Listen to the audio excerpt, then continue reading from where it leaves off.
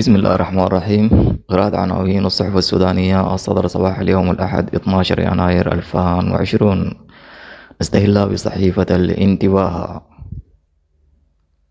الفقيه المعزول أصدر التكليف مباشرا بشراء صحيفة السوداني. تسع إصابات في اشتباكات بين موالين للنظام السابق وثوار بمدني المهدي يطالب بتعيين غالبية الولاة من حزبه. العثور على أجنبي مشنوق بالحاج يوسف. أحداث دامية بين موالين للنظام البائد ومجموعة من الثوار. عودة صفوف الخبز ومطالبة برفع حصة الدقيق خمسة وسبعون ألف جوال يوميا. صحيفة السوداني الدولية. بلاغ ضد البشير في قضية الأستاذ أحمد الخير. ملتقى المستهلك ثلاثون ألف حافلة لا تعمل وثمانمائة بص معطلة حكيم العرب الثاني قابوس في رحاب الله. مطالب بإلغاء أحد عشر مصنع للركشات.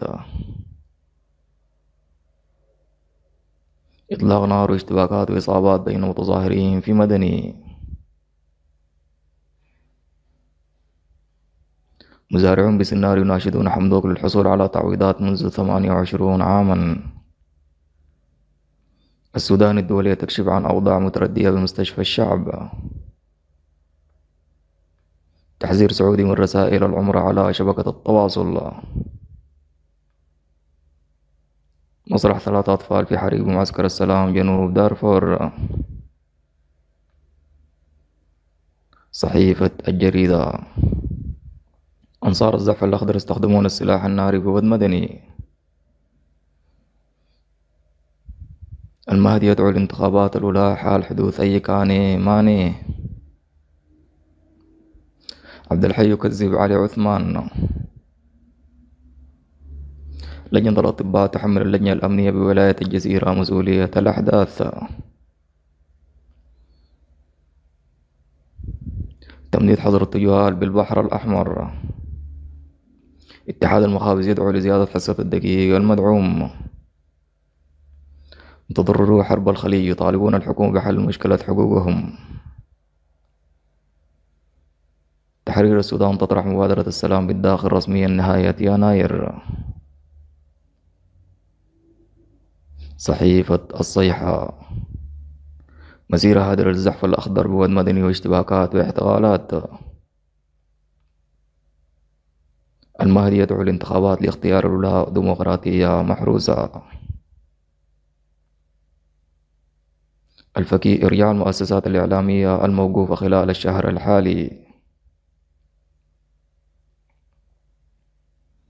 التحالف السوداني للتغيير يعلن مشاركته في عملية السلام.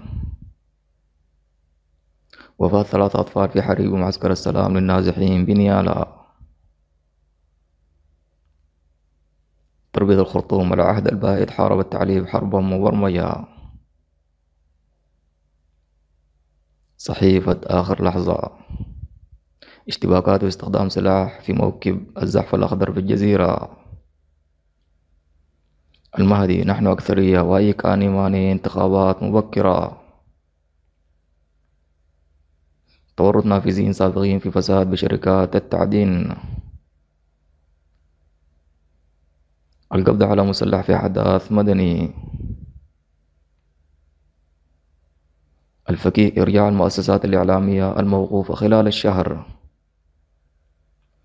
رحيل السلطان غابوس وابن عمه هيثم يخلفه.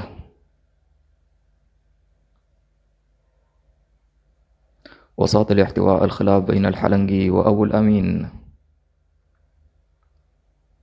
صحيفة التيار. التيار تنقل تفاصيل أحداث ميدان الحرية بود مدني. ملثمون ينهبون ذهبا بالمليارات من سيدة بالخرطوم عبد الواحد نور زيارة حمدوك لكاودا اتجاه صحيح لحل الأزمة. في وثائق العربية تلويح بشنق الثوار ووصفهم بالصعاليق.